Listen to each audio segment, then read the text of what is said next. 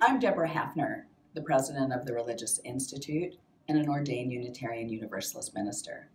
I'm really happy that you've decided to learn more about our Sexually Safer Best Practice program.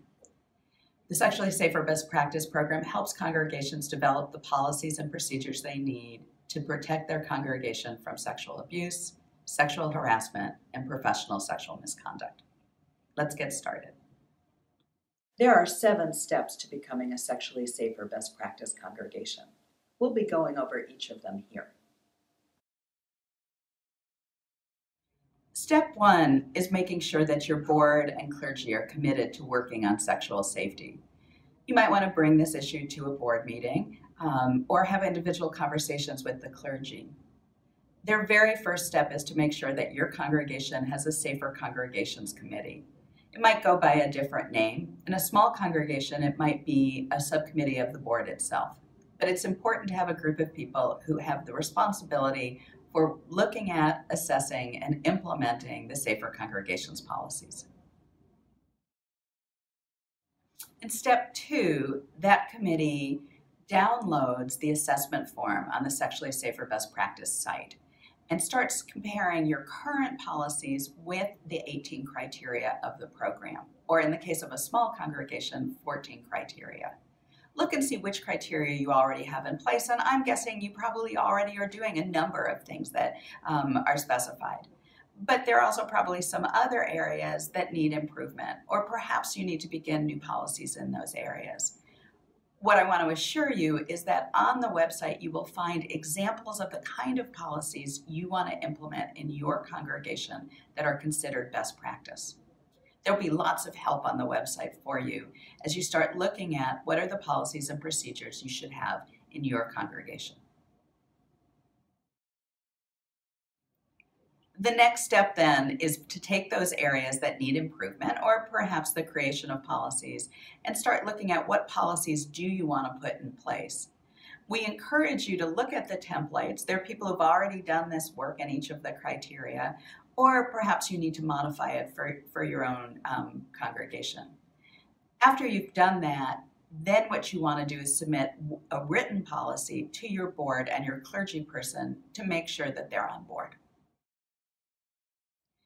Step four, which actually should be going on as soon as you begin committing to this effort, is to educate your congregation about sexual abuse prevention, sexual harassment, and misconduct prevention it will be important for you to help the congregation understand why this work is so important. And there's information on the website that will help you with that as well. Once the new policies are being created, make sure that the congregation knows about them. And then after they're passed by your board, make sure that they're posted and announced. It's very important that people in the congregation, um, including new members, know that you are committed to being a sexually safer congregation and what that means. Step five is submitting your application to become a sexually safer best practice congregation. There's an online form on our website. Once your congregation has met three quarters of the criteria, or hopefully more, you fill out the online form, upload your safety policies, and press send. It's as easy as that. We promise at the Religious Institute to review your application within a month.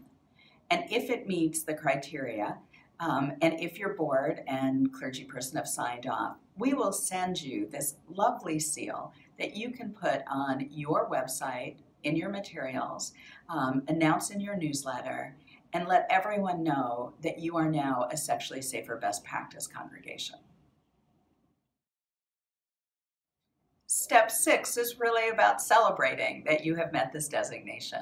Um, take the seal, put it on your website, put information about the policy on your website, in your newsletter, in your new membership materials, and let everybody in the congregation know that you are now a sexually safer best practice congregation. Step seven is just keep this work going. Um, it's important that sexually safer best practice congregations understand that this is not a one-time process. It's not a policy you write and put in a file, but it's about an ongoing commitment in your community to being sexually safer. We hope this roadmap has been helpful to you as your congregation starts working to become recognized as a sexually safer best practice program.